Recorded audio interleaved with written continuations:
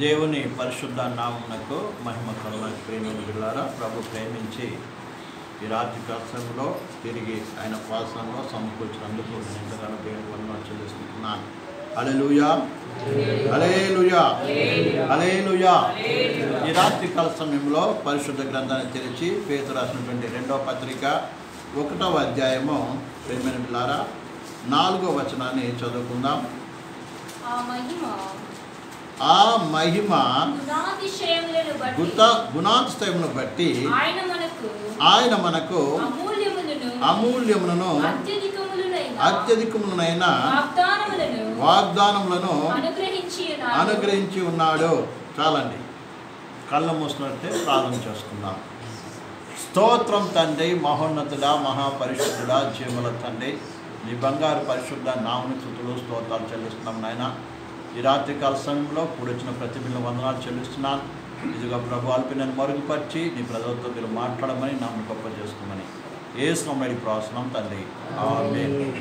ప్రియమైన బిల్లారా ఇక్కడ చదవబడినటువంటి వాక్య భాగంలో మనం చూసినట్లయితే మరి వాగ్దానమును గురించి వ్రాయబడినది అంటే వాగ్దానం యొక్క విలువలను గురించి ఈ వాక్యంలో మనం చదువుతూ ఉన్నాం.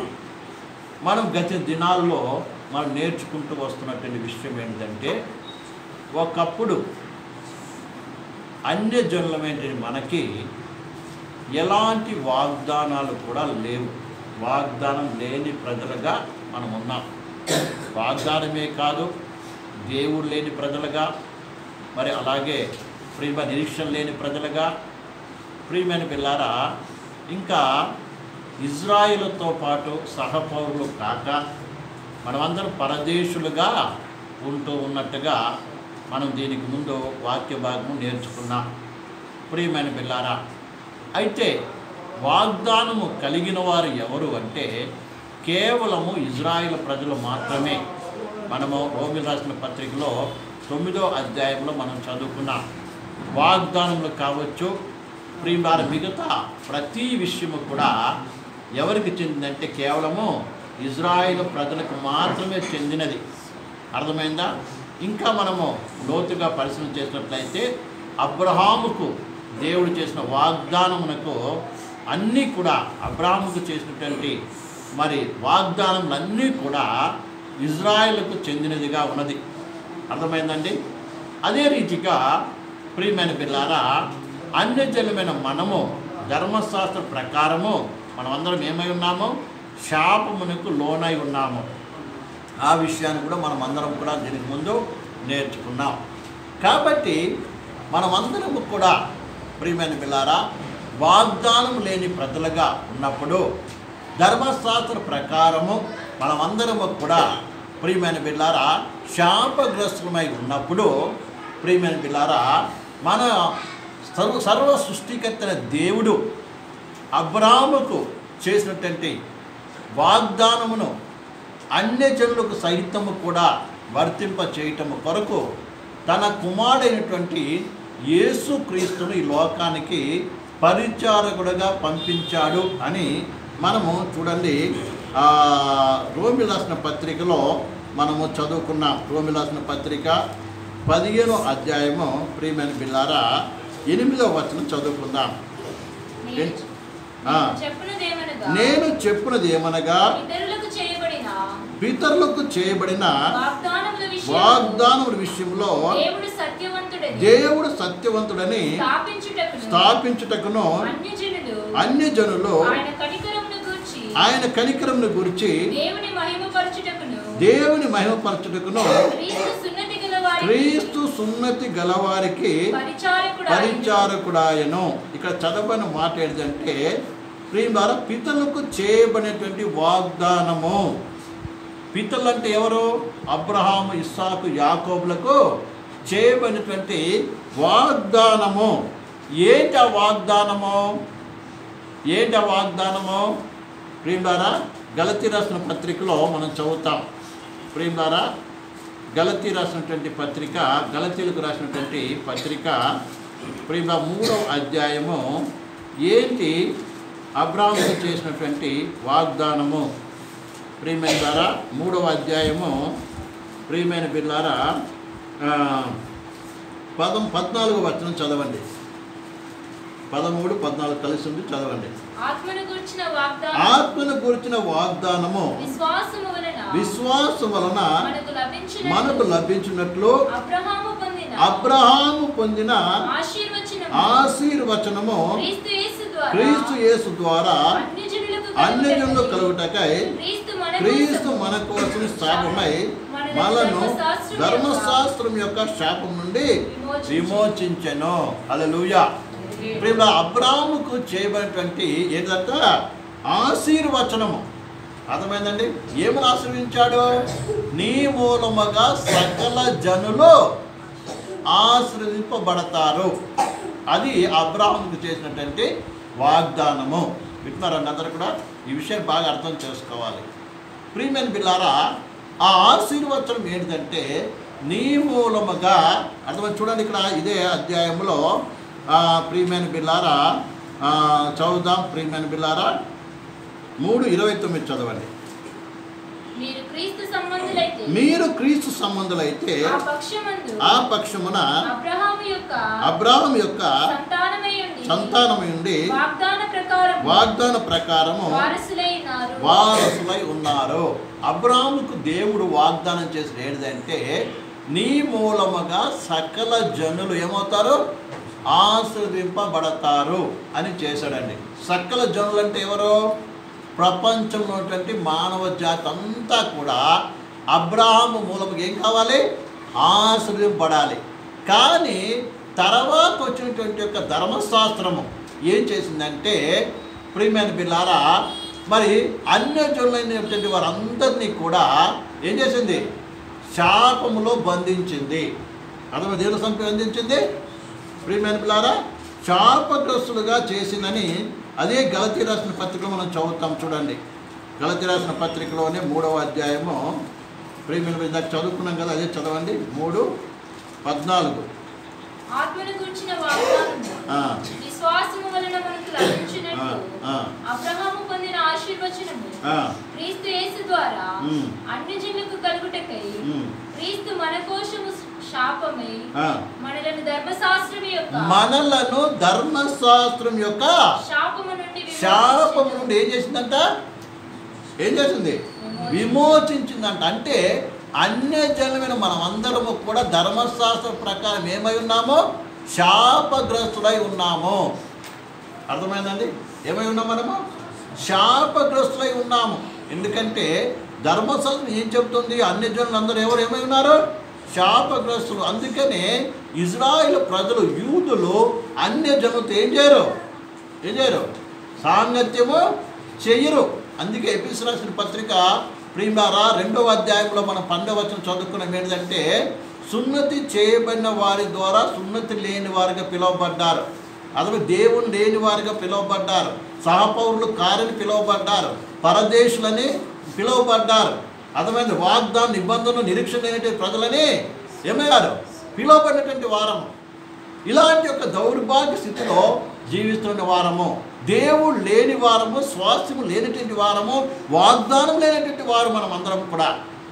అర్థమైంది? ఈ విషయాన్ని నిన్న మనం నేర్చుకున్నాం కాబట్టి ఎక్కువ వెళ్ళట్లేదు ప్రియమైన పిల్లారా కాబట్టి ఈ విషయాన్ని బాగా మనం అర్థం చేసుకోవాలి.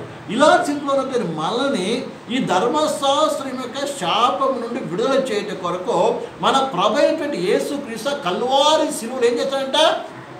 తానే శాపమయ్యాడంట. అర్థమైందండి? ఆయన ఏం చేశాడు? ఈ అన్ని జనుల మీద శాపం అంతా ఆయన మీద వేసుకున్నాడు. ఆయన కేవలం పాపమే కాకుండా మన శాపం నిమిత్తం కూడా ఏం చేశాడు ఆయన కలవారి చినువులో ప్రియమైన బిల్లారా వేలాడినట్టుగా మనం చూస్తున్నాం. ఆ రకంగా వేలాడు ద్వారా ధర్మశాస్త్రం యొక్క శాపం నుంచి మనకేం కలిగింది? విడుదల కలిగింది. ఎవరైతే ఆయన విశ్వాసం ఉంటున్నారో ఎవరైతే అవును ప్రభైన యేసుక్రీస్తు నా కొరకు కల్వారి సిలువలో మరణించాడు నా కొరకు శాపమయ్యాడు అని ప్రియులారా హృదయపూర్వకంగా గ్రహించి ప్రభు ఎందు విశ్వాసం ఉంటున్నారో ప్రభు ద్వారా వాళ్ళందరూ ఏమవుతున్నారు? చెప్పండి. శరీర సంబంధంగా కాకుండా దేని మూలంగా అబ్రాహ్మ కుమారులు అవుతున్నారు? ప్రియులారా విశ్వాసము ద్వారా అవుతున్నారండి. అలలుయా అలలుయా శరీరాన్ని బట్టి కాదు. మనం అందరం శరీరం బట్టి ఏమో కాము? అబ్రాహ్మ సంతానమో? కాజాలం. ఒకవేళ శరీరం బట్టి కావాలంటే ఏం కావాలి? ఏం కావాలండి? అబ్రాహము సంతానంలో పుట్టాలి. అబ్రాహముకు ఇస్సాకు ఇస్సాకు యాకోబుకు యాకోబు పైన సంతానం. ఆ పన్నెండు మంది గోత్రాల్లో ఏ ఒక గోత్రంలో పుట్టి ఉంటేనే శరీర సంబంధం ఏమవుతాం మనము? అబ్రాహము సంతానముగా ఎంచబడతాం. కానీ అలా కాకుండా మన ప్రవైన యేసుక్రీస్తు మూలముగా ఆయన విశ్వాసం ఉంచుట మూలముగా మనం అందరం ఏమయ్యాం? ఆత్మ సంబంధం ఏమయ్యాం మనం అందరము అబ్రాహం యొక్క సంతానమయ్యాం. ఆయనతో కూడా వారసులమయ్యాం. ఈ విషయాన్ని మనం బాగా అర్థం చేసుకోవాలి ప్రేమిలారా కాబట్టి ఈ యొక్క ఈ రకంగా మనకేం దొరికిందంటే ఆ వాగ్దానంలో పాలిభాగసులు అయ్యేటువంటి ధన్యత కృప దొరికింది. అందుకే ఈ వాగ్దానము సామాన్యమైనది కాదు కానీ ఇది అమూల్యమైన వాగ్దానముగా దేవుని వాక్యం మనకి తెలియపరుస్తూ ఉంది ప్రియులారా. పేతురాసిన పత్రులకు వద్దాం. ప్రియులారా ఈ వాగ్దానం ఏంటంట అమూల్యమైనదంట. చదవండి అన్నమాట పేదరాసినటువంటి మొదటి పత్రిక రెండో పత్రిక నాలుగు. ఆ. మహిమ గుణాశను బట్టి ఆయన మనకు అమూల్యములను అత్యధికమైన వాగ్దానములు అనుగ్రహించను. అమూల్యమైనది. అమూల్యమైనది ఏంటిది మనకి? అమూల్యమైనది ఏంటంటే వెల కట్ట లేనటువంటిది. వెల కట్టలేనటువంటిదండి ఈ ప్రపంచంలో ప్రతి దానికి ఒక వెల ఉంది. అంతే కదండి? ప్రతి వస్తువుకు ఒక వెల ఉంది. నమ్మాట అర్థమవుతుంది మీకు అందరికీ? కానీ దేవుడు ఏ వాగ్దానం అయితే చేశాడో ఏ వాగ్దానంలో మనందరి పాలిబాక్స్లో చేశాడో ఆ వాగ్దానం ఎలాంటిదంట? అమూల్యమైనదంట. వింటారండి ఏంటది? అమూల్యమైనది. ఈ అమూల్యమైన వాగ్దానం అందరూ ఏం చేశాడు ప్రభు దేవుడు ఏం చేశాడు? పాలిభాగసులుగా చేశాడు. అందుకే మనం ఎవరం తెలుసా? అమూల్యమైనటువంటి వారము. ఎవరు కూడా ఏంటి కాదు. ప్రియులారు ఎవరు కూడా ఏమిటి? తక్కువ కాదండి. ప్రభుని యేసుని విశ్వాసం ఉంచిన వారందరూ ఎవరు తెలుసా? దేవుని ప్రజలైన వారందరూ ఏం తెలుసా ప్రియులారా? అమూల్యమైన వారు. బహుశా లోకంలోనికి విలువ లేకుండా ఉండొచ్చు. లోకం నీవు ఒకవేళ ప్రియులారా బీదవాడిగా ఉండొచ్చు దరిద్రంగా ఉండొచ్చు అర్థమే చదువులేని వాడికి ఉండొచ్చు ఈ ఏమి ఏమీ లేని వాడికి కనబడొచ్చు కానీ దేవుని దృష్టిలో ఏమైనావు నువ్వు? అమూల్యమైన వాగ్దానానికి వారసుడు అయి ఉన్నావు. అమూల్యమైన వాడివి ఉన్నావు. అర్థమవుతుందండి? ఈ విషయాన్ని బాగా అర్థం చేసి ఇంకా లోతుగా చేస్తే మా అందరం అమూల్యమైన రక్తము ద్వారా ఏమయ్యాము కొనబడిన వారము అమూల్యమైనటువంటి విశ్వాసం కలిగిన వారము. కాబట్టి విశ్వాసం నీవు ఏం చేయాలి తెలుసా నేను అమూల్యమైన వాడిని సంగతి గ్రహించాలి. నేను ఒక విలువైన వాడను. దేవుని దృష్టిలో నువ్వు ఎవరో తెలుసా? చాలా విలువైన వాడివి విలువైన దానివి. అందుకే ఎప్పుడు కూడా మనము మనం మనం ఏమనుకోకూడదు. తక్కువగా అంచనా వేసుకోకూడదండి. దేవుని విషయాల్లో ఆత్మని విషయాల్లో మనం ఏమై ఉన్నాము? అత్యున్నతమైన వాగ్దానం కలిగిన వారము. అందుకే అత్యధికమైన వాగ్దానం. ఇది కేవలం అమూల్యమైనదే కాకుండా అత్యధికమైనదంట.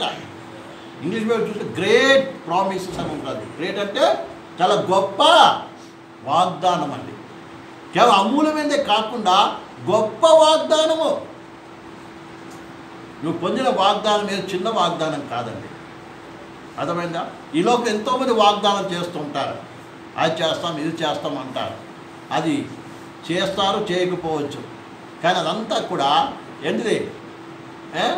ఏమది? ఏమో గొప్పది కాదు ప్రియమైన పిల్లారా కానీ సర్వ సృష్టికర్తైన దేవుడు. తన కుమారు యేసుక్రీస్తు ద్వారా ఏ యొక్క వాగ్దానములకు వారసులుగా మనం చేశాడో ప్రియమైన పిల్లారా ఆ వాగ్దానం చాలా గొప్పది. ఈ విషయాన్ని బాగా అర్థం చేసుకోవాలి. అట్టి వాగ్దానంలో పారివారు చేయట కొరకే యేసుక్రీస్తు ఆ కల్వారి శిలో తనతో ఏం చేశాడు? నల్లగొట్టుకున్నాడు తను తాను ఏం చేశాడు దేశ ప్రియులారా? పరిచారకునిగా చేసుకున్నాడు. తను తను తగ్గించుకున్నాడు. తను తను ఏమి లేనివాడుగా చదువుకున్నాడు. తను తను బానిసగా తను తను మార్చుకున్నాడు.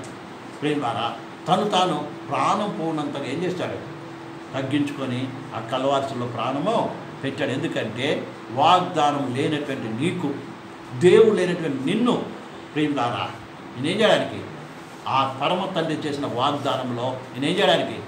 పాలి భాగస్సును చేయటం కొరకన విషయాన్ని మర్చిపోకూడదు. ఇది మనం జ్ఞాపకం చేసుకున్నప్పుడు నిజంగా మనం ఎంతగానో మన హృదయం ఏమవుతుంది? కృతజ్ఞతతో నింపబడుతుందండి. మన హృదయం ఏం కావాలి? కృతజ్ఞత నింపబడాలి. మరి పరిశుద్ధ పరిశుద్ధ బలకి వచ్చినప్పుడు ప్రభా నిజంగా ఒకప్పుడు దేవుడు ఎవరో తెలియని నేను దేవుడు లేని నా నేను. అలాగే వాగ్దానము లేనటువంటి నేను పరదేశిన నేను. అర్థమైందా? నీ కల్వారి స్థితిలో నలగొట్టుబడడం ద్వారా. ఏ రొట్టెని నేను విరుస్తున్నానో ఆ రొట్టెను విరుచుడు ద్వారా. ఆ రొట్టె భలే నీ శరీరం నలగొట్టడం ద్వారా. నాకేం చేస్తావు? నీ వాగ్దానం ఏం చేస్తావు? పాలిభాగస్తులుగా చేశావు నీ వాగ్దానం పాలిభాగం చేశావు అమూల్యమైన వాగ్దానం పాలిభాగం చేశావు గొప్ప వాగ్దానంలో ఏం చేస్తావు? పాలిభాగస్తునిగా నన్ను చేసా ప్రభానని ఏం కాదు మనం కృతజ్ఞమై అందులో పాలు పుచ్చుకోవాల్సిన బాధ్యత ఎంతైనా ఉంది ప్రేమ ద్వారా ఒక నీవు ఒక విలువలు తెలిస్తే తప్ప నీవు అలాంటి కృతజ్ఞత కృతజ్ఞత మనసుతో నువ్వేం చేయలేవు. అందులో పాలు పుచ్చుకోలేమన్న సంగతి మనం మర్చిపోకూడదు. తర్వాత ఇంకొక మాట రాయబడింది ఈ యొక్క వాగ్దానం గురించి ప్రీమియం పిల్లారా తిమోతి రాసినటువంటి పత్రిక తిమోతి రాసినటువంటి మొదటి పత్రిక ప్రియమైన పిల్లారా నాలుగు ఎనిమిది అనుకుంటా కదా? నాలుగు ఎనిమిది. శరీర సంబంధమైన సాధకము శరీర సంబంధమైన సాధకము కొంచెము మట్టుకే కొంచెం మట్టుకే ప్రయోజనకరమగును కానీ దైవభక్తి దైవభక్తి ఇప్పటి జీవము ఇప్పుడు జీవం విషయంలోనూ రాబో విషయంలో జీవం విషయంలోనూ వాగ్దాంతో కూడినందున అన్ని విషయములలో ప్రయోజనకరము ప్రయోజనకరము. ఈ వాగ్దానములంట అన్ని విషయాలనంట. ఏంటంట ప్రయోజనకరం అంట అర్థమైందండి? ముఖ్యంగా ఇక్కడ చెప్పని మాట ఏంటండి శరీర సంబంధమైన సాధకము. శరీర సంబంధ సాధకం అంటే శరీర సంబంధముగా నువ్వు ఏ కార్యాలు చేస్తున్నావో అవన్నీ కూడా కొంత మట్టికే ప్రయోజనం అంట అర్థమైందండి? శరీర సంబంధమైన కార్యాలు ఎంతవరకు సంబంధించింది?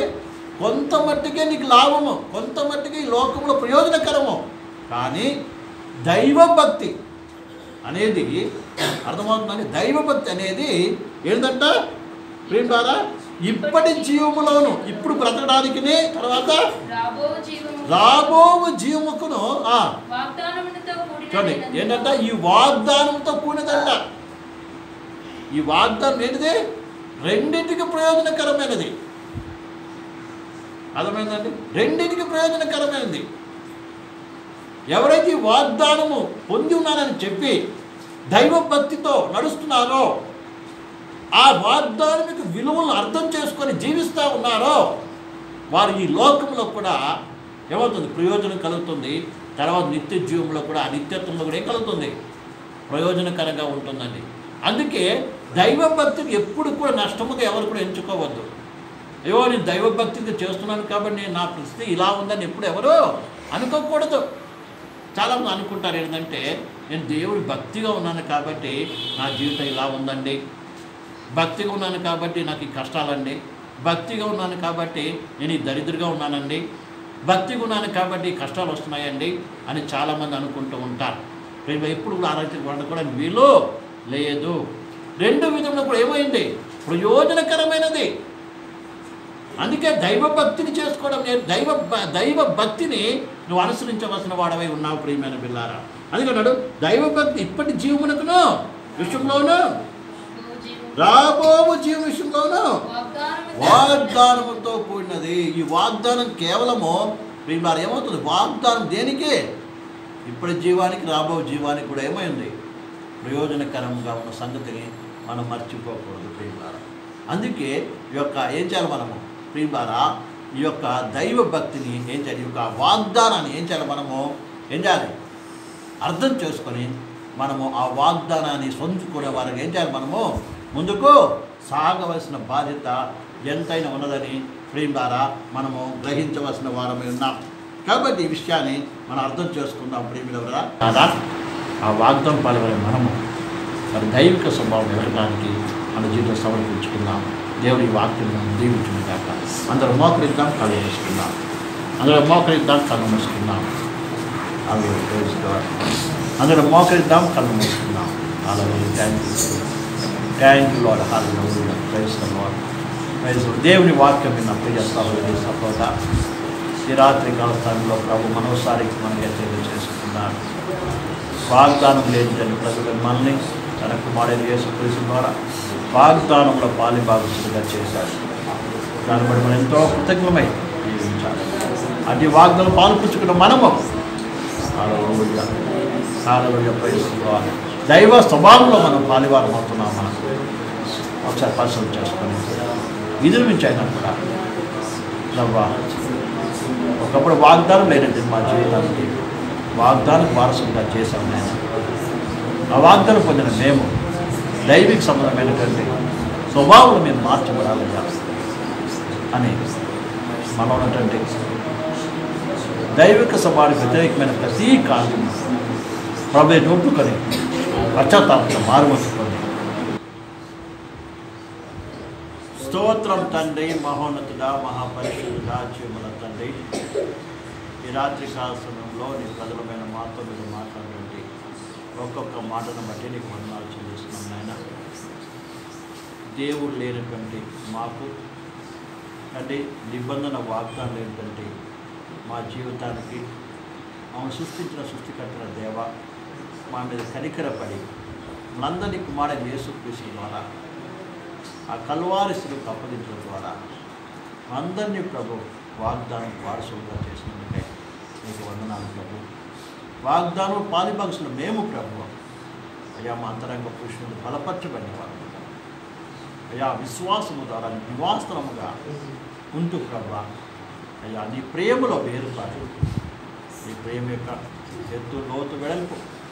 అయ్యా గ్రహించిన వారు ఉంటారు ప్రభు నీ అందు బలపరచబడకుండా అందరినీ అంతరంగ శక్తివంతులుగా మార్చినాయి యా వాగ్దాలు పాలిపోతున్న మేము ప్రభు ఈ లోకమికి దురాశ అనుసరించకుండా దైవిక స్వభావంలో అనగా నీ స్వభావంలో ప్రభు పాలిభక్తులు అటు ప్రేమను వాటి కనికరం మేము జ్ఞాపకం చేస్తాం నీ పరిశుద్ధ పనులు పాల్గొంటాం గొప్ప కృపాలను దయచేసి మీరు మహింపొందమని ఇప్పుడు ప్రతి బిడ కూడా అటు కృపలో ఎదిగిపోవచ్చు. నా గొప్ప చేసుకోమని వారికి నేను బిల్ల ముట్టి స్వస్థపరచడం ఎంతోమంది అనారోగ్యంతో బాధపడుతున్నారు అందరూ మీరు ముట్టి స్వస్థపరచు ఈ ఉదయకాలం మేము అందరం కలిసి ఉంటాము మేము సంతోషం ఆనందించి ఆనందించి మన పాల్గొని కృపదాయించండి చూపించండి ఎంత బిడ్డలకు పాసం ఉంచుకోండి. ఏసునం మేము పాసనం తండ్రి. మన తండ్రి అయిన దేవుని ప్రేమయు కుమారుడైన యేసు క్రీస్తు కృపయు పరిశుద్ధ ఆత్మిక అన్యాన సహవాసం కూడిన మనందరికీ ఉన్న సకల పరిశుద్ధులు కూడా ఆయన రాత్రి పరిగణను తోడేమి అందరికీ కూడా యేసు కృష్ణంలో వందనాలు. దీని ద్వారా రేపు ఉదయం మరి పదిన్నర గంటలకి ఆరంభం అందరూ కూడా సమయానికి రండి. ప్రభు మీకు అందరికి చూడండి రేపు మళ్ళా కార్యక్రమం ఉంటుంది అలాగే ప్రేమ ఉంటుంది విషయాలు మీరు జ్ఞాపకం చేసుకోండి.